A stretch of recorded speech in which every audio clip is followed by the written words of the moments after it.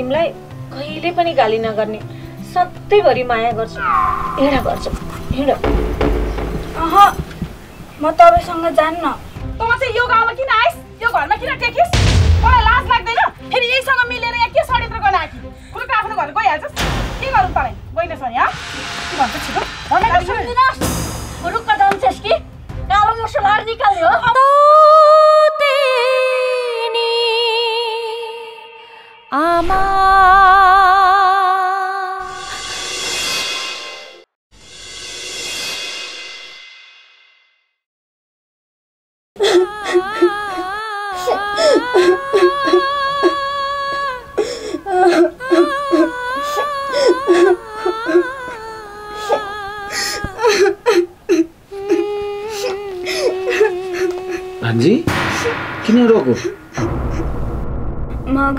जाँदा गाउँको मान्छेले बोलेनन् मलाई हेला गरे भनेर मामालाई भने भने घर छोडेर किन गएको भनेर उल्टै मलाई नै गाली गर्नुहुन्छ।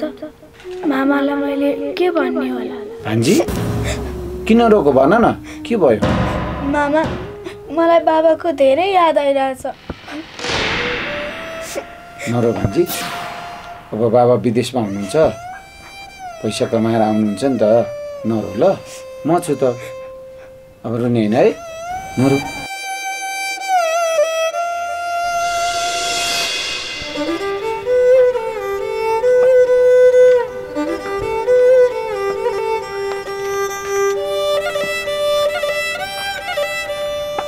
ए आमा।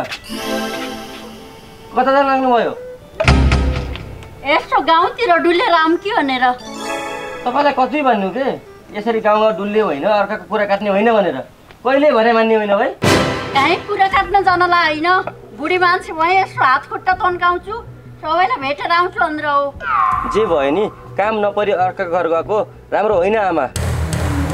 यो बुढीको त कामै केही रहेनछ भन्छन्। खालि गाउँ गाउँ डुल्चे भन्छन्। कतिको घरमा पर्सन कुराहरू हुन्छ घरमा सामान हराइरहेको हुन्छ। फेरि फल्लो बुढी आएकी थिए सामान हरायो भन्न सक्छन् दोष लाउन सक्छन् आमा। किन जाने? म चोर्नी हो र। सामान चोर्न जान्ला हो र। जीवन लाऊ त्यही बोल्दो रहेछ। म त यसो गाउँतिर गएँ भने शरीर तन्केला फुर्तिलो होला। पहिला पहिला काम गरेर आएको ज्यान हो तँ चाहिँ बसेर खा हो र। त्यही भएर जान्ला हो अनि गाउँतिर जान्छु सबैको सन्चो बिसन्चो सोध्छु सबैलाई आशीर्वाद दिन्छु कराउँछु बुढी मान्छे के भयो त? तँ बस्नु तेरा घर। म त घुमेर आउँछु। मेरी आमालाई जति भने नि नहुने। अब गाउँभरि डुल्ने होला कहिले सागरको कहिले चण्डिकाको कहिले टुल्कीको कुरा काट्ने होला।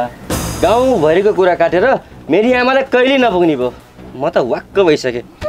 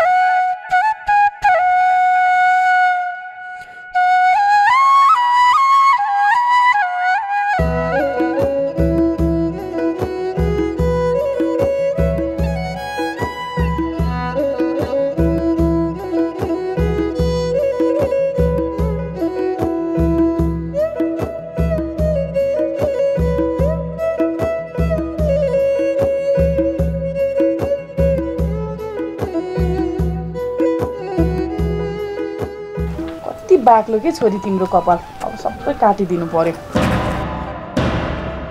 कोर्नै नसक्ने।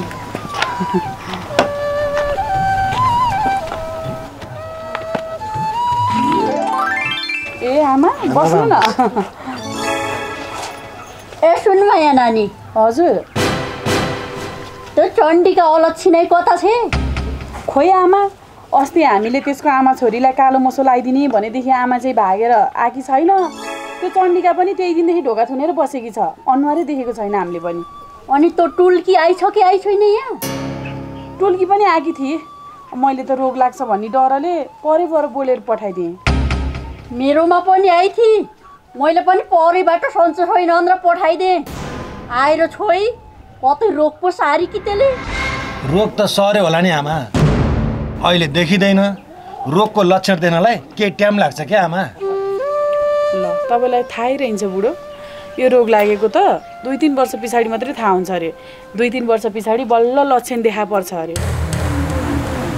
मेरो माइतमा पनि एकजना त्यस्तै बेचिएको चेली थियो। उसलाई पनि त्यही दुई तिन वर्ष पछाडि मात्रै थाहा भएको रोग लागेको भन्ने कुरो। हो त्यही भएर नजिक गएर बोल्न हुन्न छोइन हुन्न घर घर पनि बोलाउन हुन्न त्यही भएर। ए सुन माया बरु त्यो टुल्कीको मामालाई एकचोटि गएर त्यो सँगै बसेको छ रोकसोक लाओ कि? हस्पिटल गएर चेक गर्न भन्न पर्ने सुई लाउन यता त्यता जचाउन भन्न पर्ने। थाहा छ कि थाहा छैन त्यसलाई? त्यही त आमा यस्तो कुरा त बेलैमा भन्नुपर्छ। जानु न बरु तपाईँले गएर एकचोटि अन्तरे दाईलाई भनिदिनु। यस्तो कुरो त बेलैमा भनिदिएको राम्रो हुन्छ। अब म बुढी मान्छे एक्लै कहाँ जानु? हिँड हामी सबै भएर जाऊँ बरु। ए आमा तपाईँ एक्लै गएर भन्ने पनि भइहाल्छ नि। हामी किन जान पर्यो? तपाईँ नै जानुहोस्। छिमेका पर्दा सबैले गर्नुपर्छ। हिँड बरु तिमी र म जाऊँ। जाने ल। आऊ।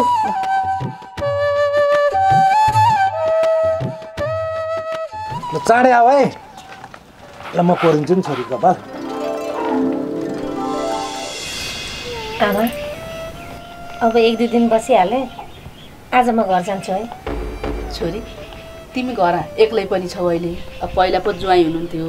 टुल्की थिए सबैजना थिएर सजिलो पनि भएको थियो घर हेर्न। अब नातिनी यहीँ बस्छे। प्रदीपसँग लुटुपुट्टु गरेर खेलिहाल्छे। तिमी जाऊ। अह हुँदैन आमा। नानीलाई त म आफै लिएर जान्छु। यहाँ तपाईँहरूलाई दुःख हुन्छ के? होइन दिदी के दुःख हुनु? सुरु सुरुमा चाहिँ अलि मानिनन् अब अहिले त मैसँग लुटुपुटु गर्छिन् खेल्छिन् बस्छिन्। भान्जीको चाहिँ टेन्सन लिनु पर्दैन। ए ल ल बाबु। त्यसो भए भान्जीलाई राम्रोसँग हेरे भाइ। हुन्छ। हेरिहाल्छ नि त पिरै नगर नानी। ल आमा। ल। म जान्छु है त। ल।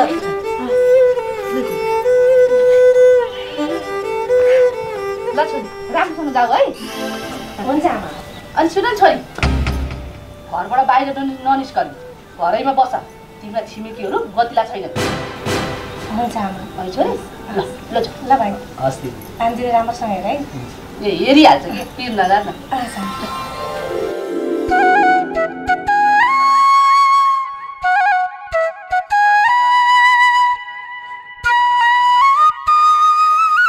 नपर्ने दिदी गइहाली। अब मलाई बेला बेला हिँडिरहन पर्छ।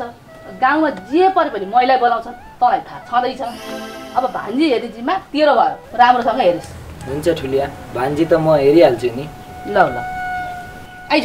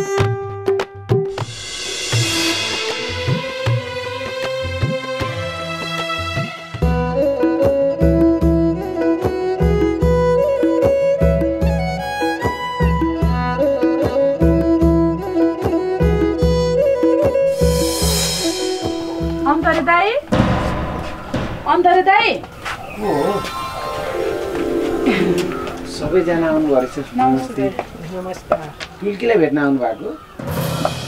टुल्कीलाई भेट्न आएको होइन। कुरा अर्कै छ। टुल्की एकछिन तिमी भित्र जाऊ त। यहाँ आऊ त बाबु।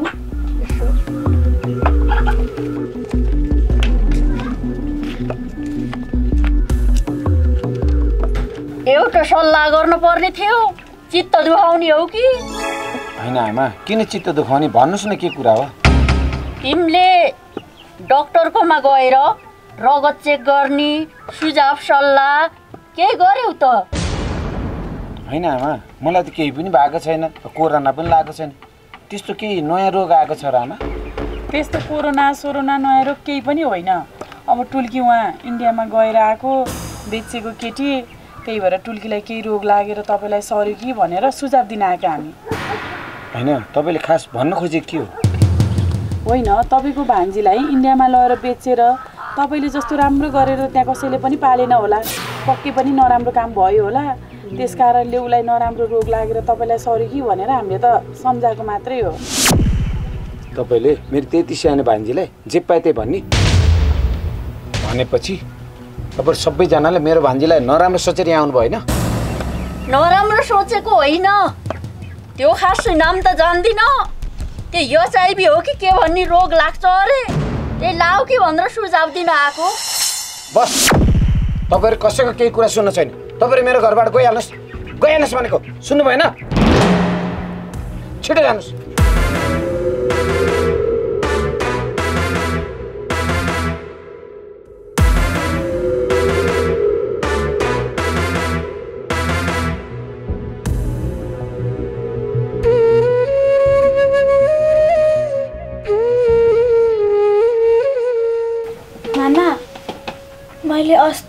तपाईँलाई झुटो बोलेँ। के कुरा झुट बोल्यो भान्जी? म अस्ति घर छोडेर बाहिर गएको थिएँ। गाउँलेहरूले मलाई नराम्रो व्यवहार गरेन् कस्तो नराम्रो व्यवहार भान्जी? कोठीमा बेचेको मान्छे हो। यसले धेरै रोग ल्याउँछ। योबाट हाम्रो छोरीले के सिक्छ?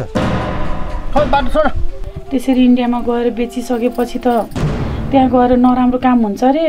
अनि के के रोग लाग्छ अरे? त्यही भएर हामी त्यस्तो मान्छेसँग टाढै बसेको राम्रो के बुढो? मलाई सन्चो छैन डक्टरले धेरै नबोल्न भनेको छ। म बोल्न सक्दिनँ त जा। भान्जी अबदेखि घर छोडेर कहीँ नजाने है। ल जो त्यहाँ खाजा राखिदिएको छु। खाजा खाएर पढ्न थाल त जो।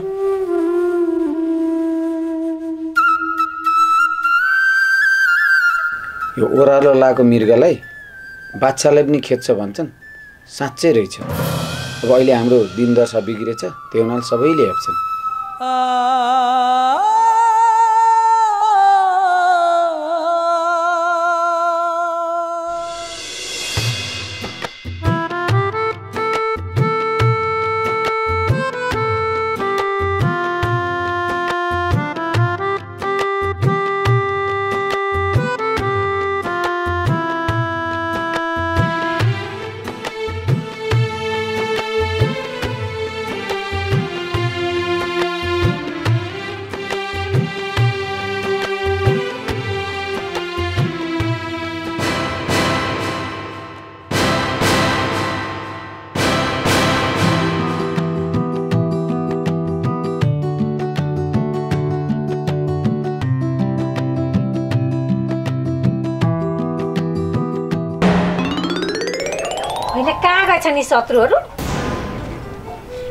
नभएकै राम्रो भयो? धन्न म आएको बेलामा यिनीहरू रहेनछन्। नत्र खालि मेरो मात्रै कुरा काटेर बस्छन्। छिमेकी भनेको त यसो ऐँचो पैँचो काम लाग्ने दुःख पर्दा सहयोग गर्ने हुनुपर्ने नि। मलाई त देखि सधैँ भनेका कम्तीका छिनी छन्। यस्ताको घरमा आएर म पनि के बोलिरहेको नि?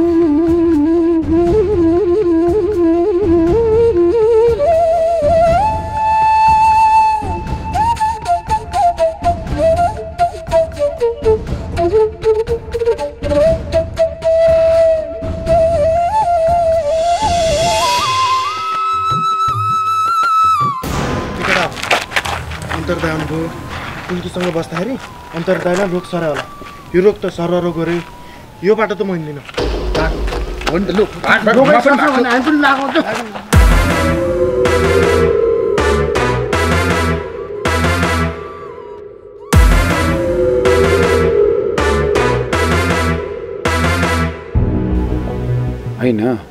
यो केटाहरू मलाई देखेर किन भागे? ए निश्चय पनि यिनीहरूले टुल्किला जस्तै व्यवहार मलाई पनि गर्न थालेछ।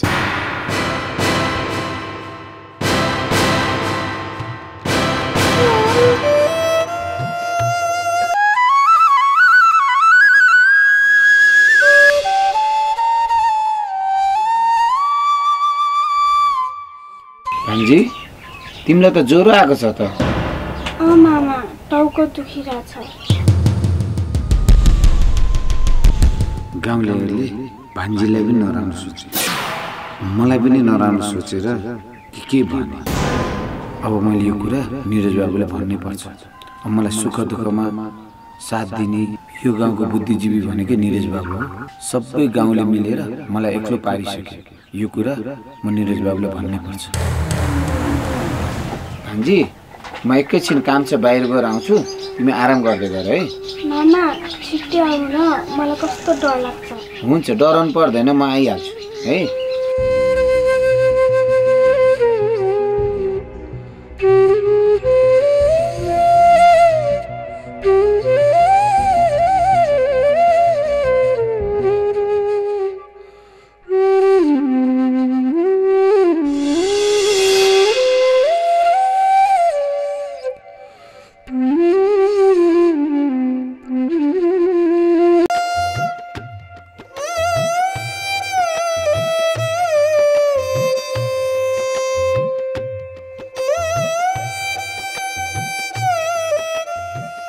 निरज बाबु? ओ निरज बाबु। को हो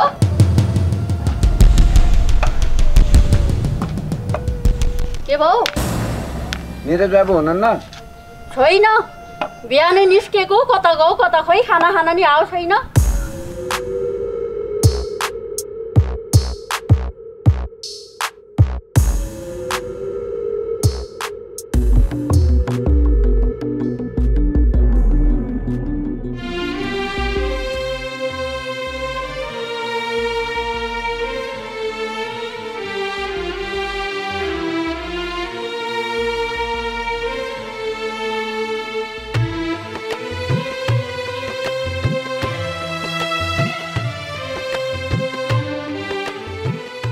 निरज बाबु नमस्ते।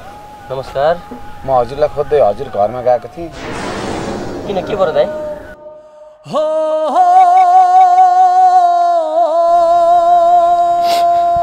अन्तर दाइ किन रुनु भएको? निरज बाबु यो गाउँका सबै जम्मा भएर मेरो घरमै आएर भान्जीलाई मलाई नानान थरी भने। इन्डियाबाट बेचेर आइ कि रोग लिएर आयो अलि भनेर भान्जीलाई र मलाई एकदम नराम्रोसँग भने साह्रै दुःख लाग्यो निरज बाबु। कस कसले भने अन्तर यस्तो कुराहरू? अब को कोलाई भनौँ सबैजनाले। भान्जी यसो खेल्न जाँदा पनि सबैजना भाग्ने घरमा जाँदा पनि थुथु छिची गर्ने। कसले त्यस्तो नराम्रो व्यवहार गर्यो? मलाई नाम भन्नुहोस् न। सबै गाउँले हजुरकै आमाले पनि आएर भन्नुभयो। म गाउँको सबै मान्छेहरू जम्मा गरेर राम्रोसँग सम्झाइदिन्छु। तपाईँले टेन्सन नलिनुहोस्। गाउँको सबै मान्छे जम्मा गर्दाखेरि म हजुरलाई पनि बोलाउँछु। टुल्कीलाई पनि लिएर आउनु होला हस्। है हस् हस् ल।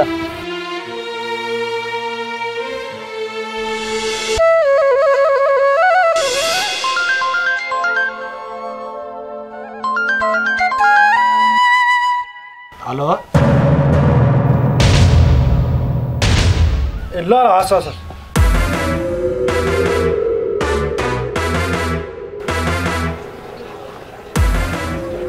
ए दिनेश! दिनेश! ए दिनेश! सुन न निरज फोन गरेर मलाई बोलाउनु भएको छ। जाउँ न हिँडेर भेटेर। किन बोलाउनु रहेछ त? त्यो त मलाई पनि थाहा भएन। त्यहीँ भेटौँला नि सोधौँला नि।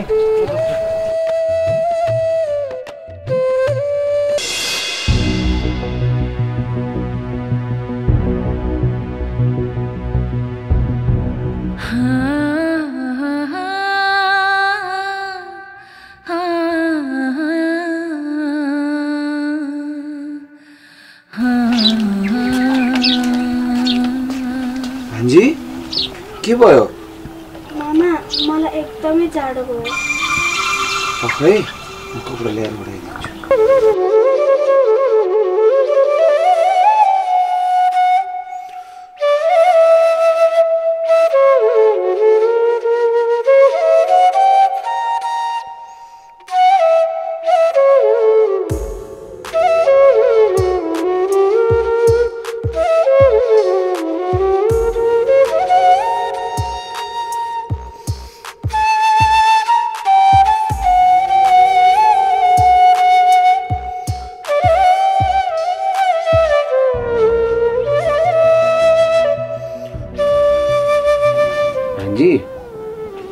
गाउँले नराम्रो व्यवहार गरे बोलेनन् भनेर तिमी त्यही पिरले बिरामी हौ?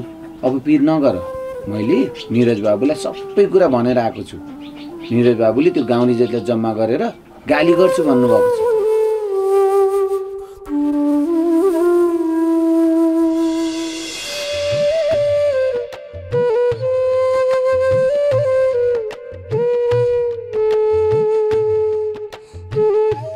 निरज दाई निरज दाई निरज दाई ए आइपुग्यो? दाई नमस्कार। नमस्कार। सुन त सागर दिनेश। गाउँका सबै मान्छे भेला पारेर जम्मा गर्दै गर्नु केही कुरा भन्नु छ म एकछिनमा आउँछु। है? हस् दाई। ए ल।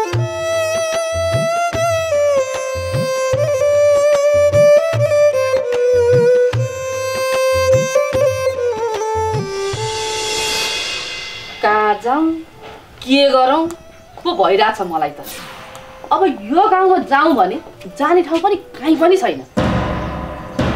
छोरीको गाउँतिर जाउँ भने कालो मोसो लाएर धन्मै लहटा मार लाथे गुन्यो समाउँदै दौडेर आएकै हो। अब यो ट्रक ट्रक रग रग गरेर ल्या पानी। मलाई त यो घरमा बसिराखेर होला। खुट्टै स्याउ स्याउ स्याउ स्याउ गरे जस्तो भइरहेछ भने। होइन जाने चाहिँ कहाँ होला के? जाने ठाउँै छैन आफ्नो। जाने ठाउँ भइदियो भए पनि त यसो जान्थेँ मन बुझाउँथेँ होला। कहीँ छैन आफ्नो त जाने ठाउँ। बानी बिग्रेर होला भरा त फिटिक्कै बस्न मन लाग्दैन। काम पनि भरा केही छैन। भात पनि त्यही पर्दिबीले पकाउँछ होइन जाने चाहिँ कहाँ चाहिँ होला के म?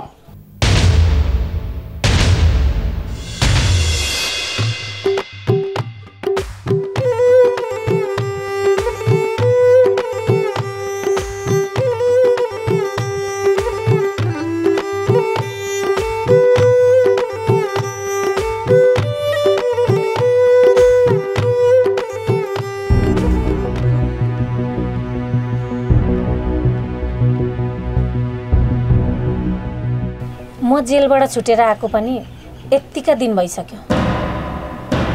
मलाई भेट्न भनेर कोही पनि मेरो घरमा आएका छैनन्। यो गाउँका मान्छे त साह्रै नै पापी रहेछन् भने। फेरि मैले पनि एकजनालाई पनि खुसी बनाउन सकेकी रहेनछु। तर आज यो गाउँै सुनसान छ त। होइन सबैजना कहाँ चाहिँ मरेछन् कुन्नी? कोही पनि देख्दिनँ। अब यो गाउँका मान्छे कोही नबोलेर केही पनि नापिँदैन भने। आ एक्लै जन्मेको एक्लै मर्ने हो। अब आखिर यो गाउँमा पनि त म एक्लै छु। केही मतलब छैन मलाई त एक्लै भएर पनि।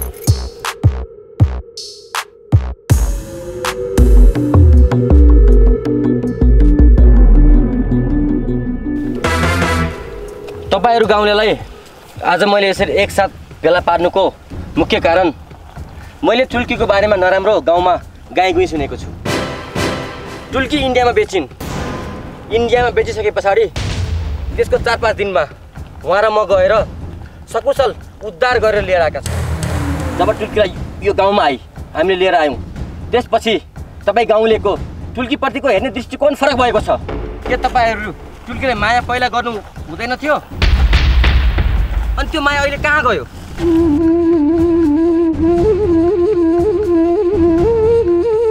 उसलाई दुःख पर्यो।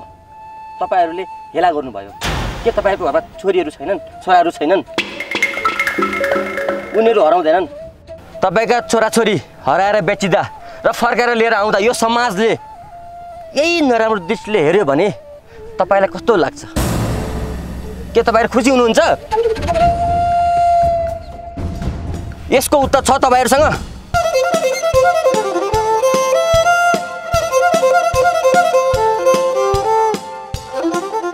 ल हेर्नुहोस् त यसलाई। नाबालक।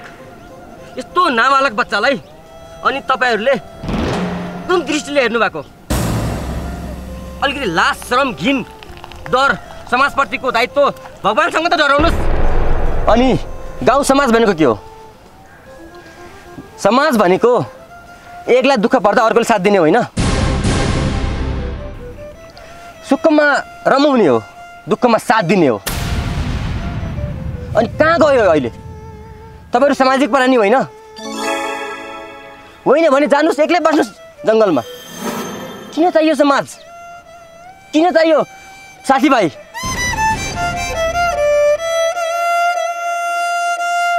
म तपाईँहरूलाई मात्र होइन मेरी आमालाई पनि भन्छु।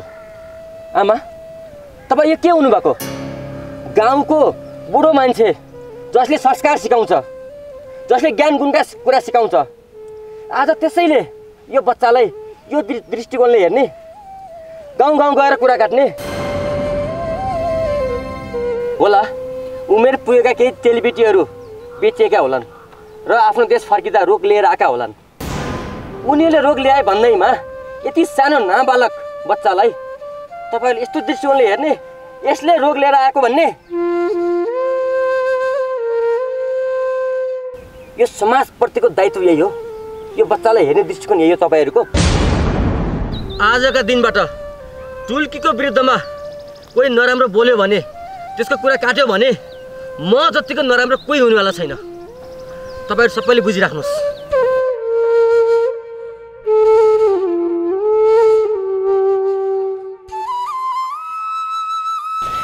टुल्की आजका दिनबाट यी गाउँलेहरूले तिमीलाई नराम्रो व्यवहार गरे भने सिधा यो निरज अङ्कल आएर भन्ने। यिनीहरूलाई के गर्नुपर्छ? मैले जानेको छु। अनि बुझ्यो टुल्की तपाईँहरू सबैले पनि बुझ्नुभयो नि? ल जानुहोस् आफ्नो आफ्नो घर। जानुहोस्।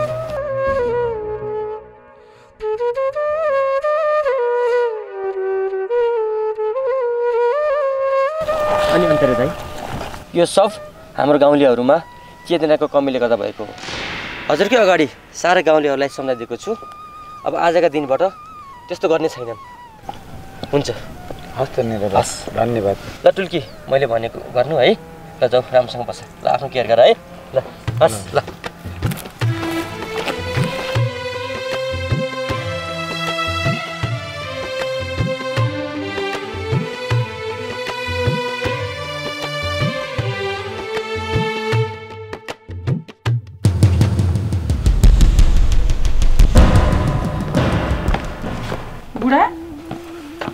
जानुभएको थियो।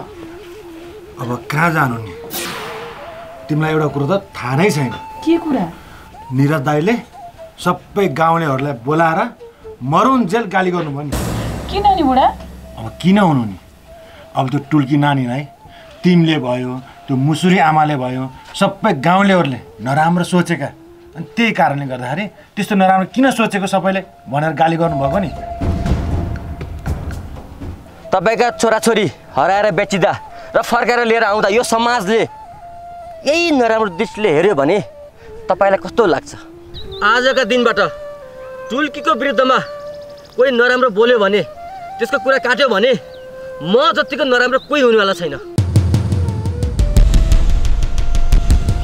हुन पनि हो नि बुढा।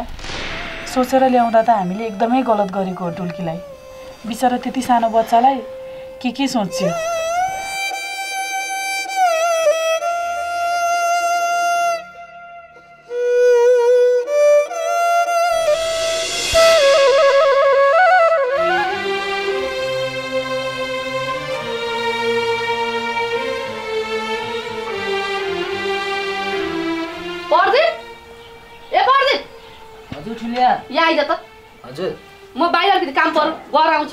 घर कुरो बस है। कहाँ जाने ठुलिया? ओ, यहाँ डल्ला जहिले पनि हिँड्ला काजल्ला काजल्ला भन्छ। किन काजल्ला भनेर सोधे तैँले? सोधिदिन भन्छु बिर्सिहाल्ने रहेछु।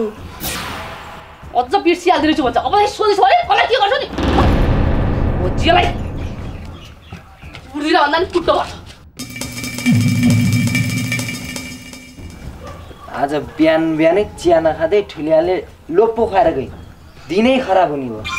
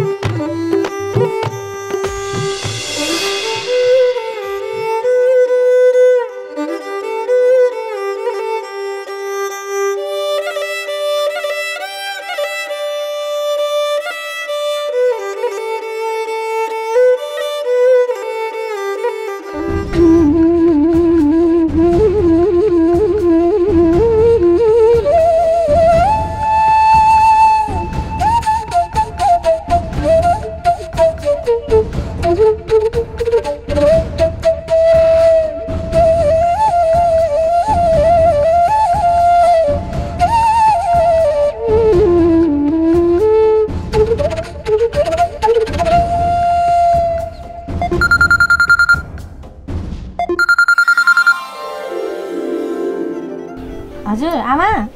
छोरी। तिमीलाई एकदम भेट्न मन लाखा यहाँ घुमाउरो बाटो छ नि त्यहाँ आऊ त। ल अब बाटोमा चाहिँ किन आउनु नि आमा? तपाईँ आफै आउनु न यहीँ घरमा। तिमी यहाँ आऊ न। छिटो आऊ। होइन आमा। यहाँ घरमा कति काम छ तपाईँ आफै आउनु न यहाँ। हेत तरिका छोरी। कामसाम पछि गरे भइहाल्यो नि। अब आमाले खुरुक्क आऊ भनेपछि तिमी आऊ न।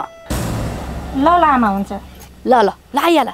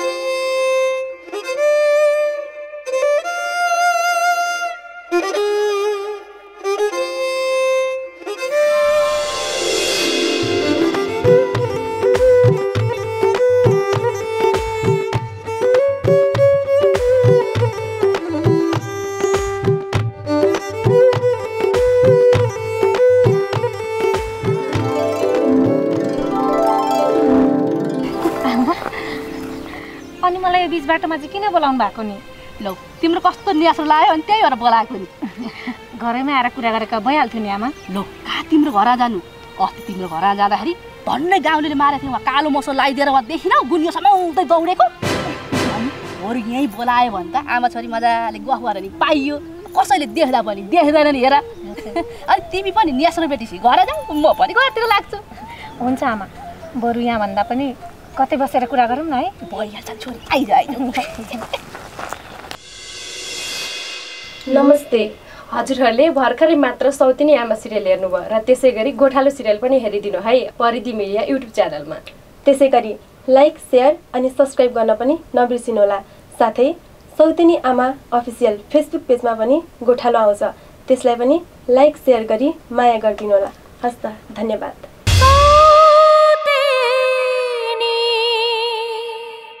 आमा मैमाथि